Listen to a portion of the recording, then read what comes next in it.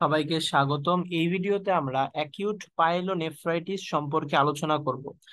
Pyelonephritis এটা মানে হচ্ছে inflammation of the kidney parenchyma that means inflammation of the kidney যখন কিডনিতে ইনফ্লামেশন স্প্রেড করে যায়, তখন আমরা সেটাকে বলছি পাইলোনেফ্রাইটিস এবং এটা যখন খুব অ্যাকিউট প্রেজেন্টেশন হয় র্যাপিডলি প্রেজেন্টেশন করে পেশেন্টের কাছে সেটাকে আমরা তখন অ্যাকিউট বলি। যদি এটা এরকম হয় যে না লং টার্ম ধরে এই ইনফ্লামেশন চলছে, সেটা হচ্ছে আমরা সাধারণত বলি ক্রনিক পাইলোনেফ্রাইটিস এখন ইনফ্লামেশন তো ইনফ্লামেশনের তো অনেক কারণ আছে, তাই না? যে কোনো ধরনের ইমিউন কমপ্লেক্স ডিপোজিশন হলে ইনফ্লামেশন হতে পারে টিস্যুতে কোনো ইনসাল্ট হতে হতে পারে। তারপর যদি কোনো কারণে টিস্যুতে ইনফেকশন হয়, সেজন্য হতে পারে। এখন অ্যাকিউট পাইলোনেফ্রাইটিসে এই ধরনের যে এখানে যে ইনফ্লামেশন হচ্ছে, এটার মেইন কজ হচ্ছে ইনফেকশন এটা আমাদের ফার্স্টে জানতে হবে। কিডনিতে ইনফ্লামেশন হওয়ার এখানে সবচেয়ে গুরুত্বপূর্ণ কজ হচ্ছে ইনফেকশন ইনফেকশন বিভিন্ন প্যাথোজেন এইখানে কিডনিতে এসে সেটেল হয়। এখন এই যে কিডনিতে এসে সেটেল হয়, এই রুটটা দুই ধরনের। একটা হচ্ছে যে লোয়ার ইউরিনারি ট্র্যাক থেকে কিডনি অ্যাসেন্ট করে করে করে করে উপর দিকে এসে কিডনিতে এসে সেটেলড হলো, অথবা হেমাটোজেনাস স্প্রেড আমরা জানি যে কিডনিতে রেনাল আর্টারি এসে ব্লাড ফ্লো দেয়। সো এই হেমাটোজেনাস স্প্রেডের মাধ্যমে কোনো ব্যাকটেরিয়ামিয়া হচ্ছিল ব্লাডের মধ্যে ব্যাকটেরিয়া ব্যাকটেরিয়া ছিল, সেটা এসে কিডনিতে সেটেলড হলো, তারপর সেখানে ইনফ্লামেশন করল। তাইলে এটা হবে হচ্ছে পাইলোনেফ্রাইটিস এখন একটা জিনিস জানতে হবে, আমরা কিন্তু এর আগে অ্যাকিউট সিস্টাইটিস বা লোয়ার ইউরিনারি ট্র্যাক্ট ইনফেকশনের বিভিন্ন সাইন সিমটম ট্রিটমেন্ট এগুলো নিয়ে আলোচনা করেছি। প্রথম কথা আমাদের যেটা সবসময় মনে রাখতে হবে, যখন আমরা ইউরিনারি ট্র্যাক্ট নিয়ে আলোচনা করব, সেটা হচ্ছে লোয়ার ইউরিনারি ট্র্যাক্ট ইনফেকশন এখানে কখনোই সিস্টেমিক সাইন সিমটম আমরা পাবো না। সিস্টেমিক সাইন সিমটম মানে হচ্ছে পেশেন্টের ফিভার চিলস রাইগর, এই জিনিসগুলো কখনোই থাকবে না। কিন্তু আপার ইউরিনারি ট্র্যাক্ট ইনফেকশন যখন হবে, তখন পেশেন্টের সিস্টেমিক ফিচারগুলো আমরা পাবো। এটা খুবই গুরুত্বপূর্ণ জানাটা। কারণ তাহলে এই আপার ইউরিনারি ট্র্যাক্ট বলতে আমরা মেইন মেইনলি বোঝাই হচ্ছে কিডনিতে যদি কিডনি ইনভলভমেন্ট হয় কিডনি একটা খুব বড় এবং মেজর অর্গান এখানে ইনফ্লামেশন খুবই সিভিয়ার হয় এবং এখানে পেশেন্টের সিস্টেমিক সাইন সিমটম চলে আসে। এখন, এই ইনফ্লামেশনের সাইন ছাড়াও এখানে যে কিডনিতে ইনফ্লামেশন হচ্ছে কিডনিতে যে ইনফ্লামেশন হচ্ছে, এই জন্য এই জায়গায় আমরা কিছু লোকাল সিমটমসও পাবো। যেমন পেশেন্টের পেছনের দিকে এরকম ব্যথা হবে, যেটাকে আমরা বলি হচ্ছে ফ্লাঙ্ক পেইন এবং আমরা costovertebral angle costovertebral বলতে বোঝানো হচ্ছে এই যে আমাদের ভার্টিবা আমরা যদি ব্যাক থেকে দেখি, এগুলো হচ্ছে ভার্টিবা লাম্বার ভার্টিবা এখান থেকে কিন্তু এই রিপসগুলা সামনের দিকে চলে গেছে। তো এই ভার্টিব্রা এবং সববার নিচের যে রিপস এদের মধ্যে যে অ্যাঙ্গেলটা তৈরি করতেছে, এটাকে বলা হচ্ছে কোস্টো ভার্টিব্রাল অ্যাঙ্গেল তো এখানে যদি আমরা প্রেস করি, তাহলে আমরা পেশেন্টের টেন্ডারনেস ফিল করতে পারব। সেগুলো হচ্ছে যে পেশেন্টের এখানে ইনফ্লামেশন হওয়ার বা কিডনিটা ইনভলভ হওয়ার জন্য লোকাল সাইন সিমটম আর এছাড়া তো জেনারেলি যে সিস্টেমিক সাইন সিমটম আছে, সেগুলো হচ্ছে নসিয়া ভমিটিং চিলস এই জিনিসগুলো আমরা সবসময় দেখতে পাবো। এবং আমরা এখানে আলোচনা করেছি যেটা অ্যাসেন্ডিং দিয়ে হতে পারে, যেখানে অ্যাসেন্ডিং আমরা দেখেছি যে সিস্টাইটিসের most common cause Escherichia coli সেটাই থাকবে অথবা অনেক সময় হ্যামাটোজেনাস স্প্রেড হতে পারে। এবং হ্যামাটোজেনাস স্প্রেড হওয়ার অন্যতম একটা গুরুত্বপূর্ণ রিস্ক ফ্যাক্টর হচ্ছে যদি পেশেন্ট ইমিউন সাপ্রেসেন্ট হয়। এখন কিডনিতে এখানে যে ইনফ্লামেশন হচ্ছে, আমাদের জানতে হবে কিডনির তো আমরা স্ট্রাকচার পড়ে আসছি যে, আমরা যদি গ্রস স্ট্রাকচার করি গ্রসলি এটাকে ভাগ করলে আমরা দুই ভাগে ভাগ করতে পারি। এটা হচ্ছে কর্টেক্স এবং মেডুলা আউটার দিকে থাকে কর্টেক্স এবং ইনার দিকে থাকে মেডুলা এবং মেডুলার মধ্যে থাকে হচ্ছে বিভিন্ন এরকম পিরামিড লাইক স্ট্রাকচার যেগুলা মেইনলি রেনাল টিবিউল বা কালেক্টিং টিবিউল দিয়ে তৈরি, তাদেরকে আমরা বলতেছি হচ্ছে মেডুলারি পিরামিড এখন এই কিডনি মেইনলি কি দিয়ে তৈরি? নেফ্রন দিয়ে তৈরি। এখন আমি একটা নেফ্রন ছবি আঁকি নেফ্রন ছবি হচ্ছে এরকম proximal convoluted tubule loop of Henle তারপর হচ্ছে ডিস্টাল কনভোলেটেড টিউবিউল তারপর হচ্ছে কালেক্টিং টিউবিউল এই হচ্ছে আমাদের কিডনির ছবি। আর এখানে আছে বোমেন্স ক্যাপসুলের এখানে আছে হচ্ছে গ্লোমেরুলার ক্যাপিলারি গেল।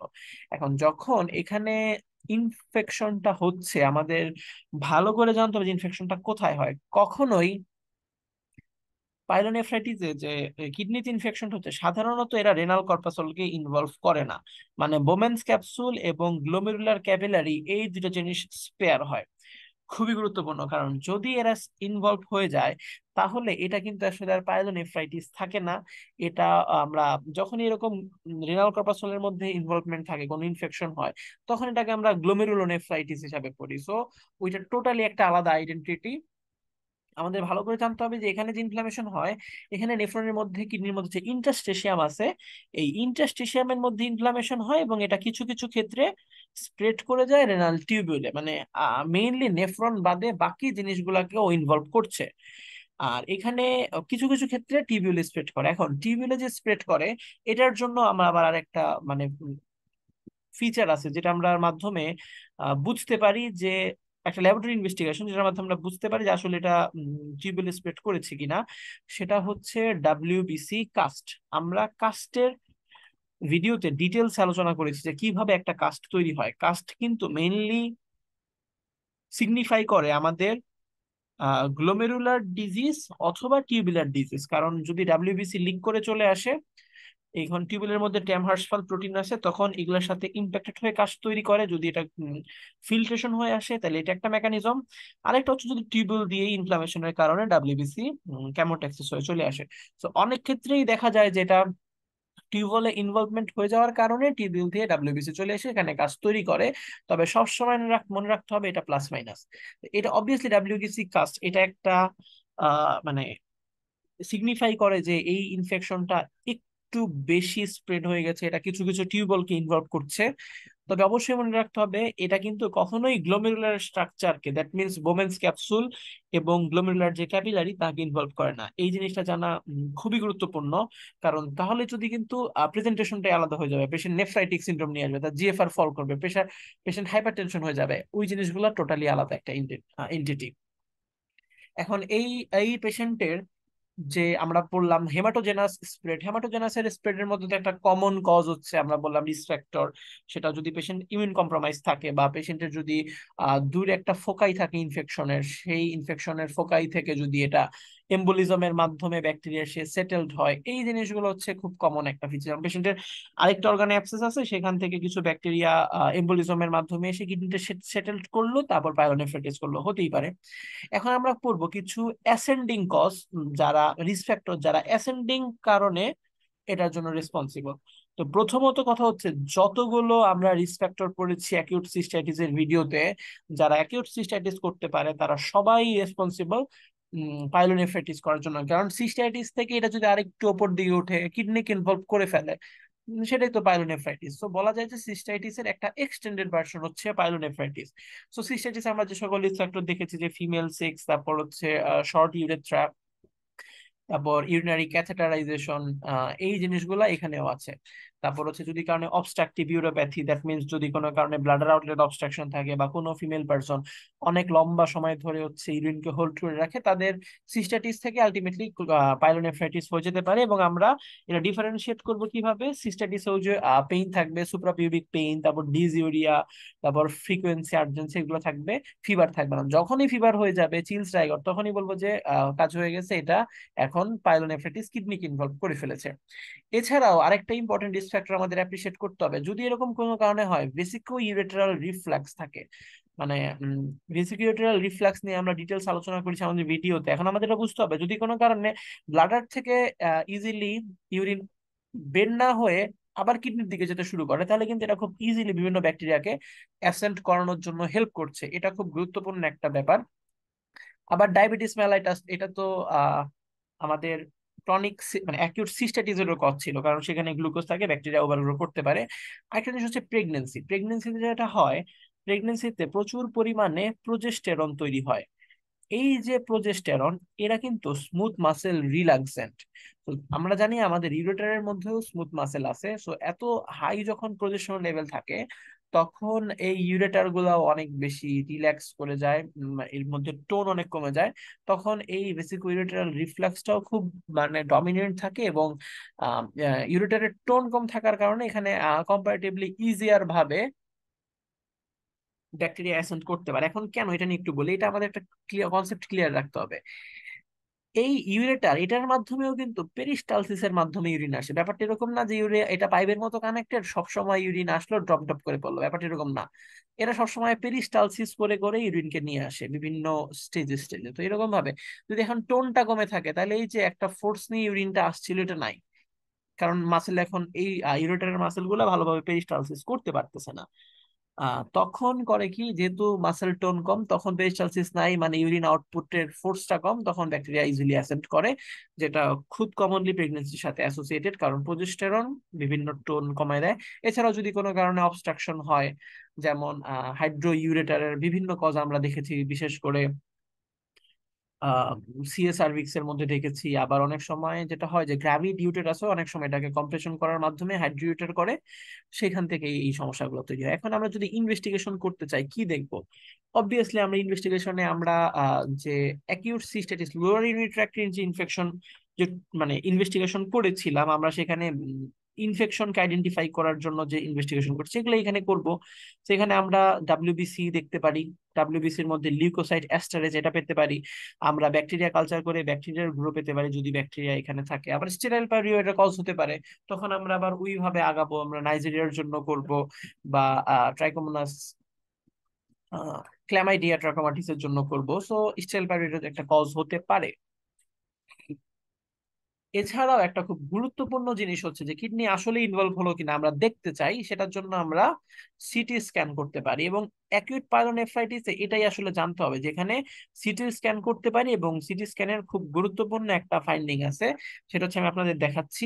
প্রথমে এই কিডনি দেখেন, এটা কিন্তু খুবই সুন্দর একটা মানে শেপে আছে, এখানে ডাই দিয়ে করা হয়েছে, খুব ভালো এরা গ্লো করতেছে এটা হাইপার ডেন্স এখন এই পাশে কিডনি দেখেন, এখানে কিন্তু স্ট্রায়া দেখা যাচ্ছে কিছু, এইরকম হাইপো ডেন্স রিজন আছে, এই পাশে আরও ভালো অ্যাপ্রিসিয়েট করা যেরকম স্ট্রাইট তো এইরকম স্ট্রাইট জিনিস যদি কিডনিতে পাওয়া যায় সিটি স্ক্যানে এটা সিগনিফাই করে যে এই পেশেন্টের কিডনিটা ইনভলভ এখন ওনার অ্যাকিউট পাইলোনেফ্রাইটিস হচ্ছে। এই ফাইন্ডিংসটা জানা এবং এই ফাইন্ডিংটা দেখে চিনতে পারা খুবই গুরুত্বপূর্ণ। ঠিক আছে? এবং খুব কঠিন কিন্তু না, যে অ্যাকিউট স্ট্রাইটেড অ্যাকিউট পাইলোনেফ্রাইটিসে আমরা সিটি স্ক্যান করলে স্ট্রাইটেড প্যারেনকাইমাটা পাবো কিডনি প্যারেনকাইমা এখন আমরা দেখি যে আমাদের এখানে কি কি আলোচনা আছে।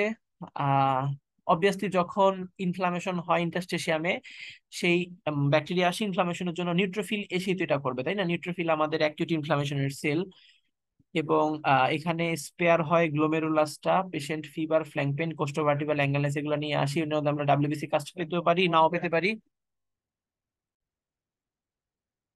এবং সিটি স্ক্যান করলে আমরা দেখব যে এখানে স্ট্রাইটেড প্যারেনকাইমাল এনহান্সমেন্ট আছে। রিস্ক ফ্যাক্টর নিয়ে আমরা আলোচনা করেছি ক্যাথেটারাইজেশন যদি কোনো কারণে অবস্ট্রাকশন থাকে vesicoureteral reflex diabetes mellitus pregnancy progesterone mediated যে টোনটা কমে যায়। এখন এর কমপ্লিকেশন কি হতে পারে? খুব গুরুত্বপূর্ণ। তার আগে আসলে আমরা ট্রিটমেন্ট নিয়ে আলোচনা করি। যেহেতু আমি বলেছি এটার মেইন কমন কজ কমনলি কোনো ইমিউনোজেনিক কজ থাকে না সো সাধারণত এই ট্রিটমেন্ট যেহেতু ব্যাকটেরিয়া দিয়ে হচ্ছে, আমরা অ্যান্টিবায়োটিক দিয়ে দিব। এখন কোন অ্যান্টিবায়োটিক এটা আসলে ব্রড স্পেকট্রাম বিভিন্ন অ্যান্টিবায়োটিক দিয়ে। এখন কমপ্লিকেশন কি হতে পারে? অ্যাকিউট থেকে এটা ক্রনিকের দিকে যেতে পারে, যেটা আমরা নিয়ে ডিটেলস আবার আলোচনা করেছি যে ক্রনিক প্যারানেফ্রাইটিস কীভাবে বুঝব প্রেজেন্টের প্রেজেন্টেশন কীভাবে থাকবে। অনেক সময় যেটা হয় যে রেনাল প্যাপিলারি নেক্রোসিস হয়, এটা কি?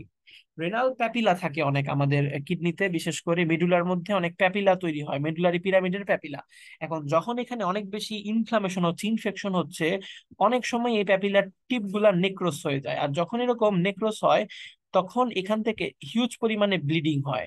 আর পেশেন্ট তখন ফ্র্যাঙ্ক হেমাচুরি নিয়ে আসে, একদম ইউরিনের মধ্যে ডিরেক্ট ব্লাড যাচ্ছে।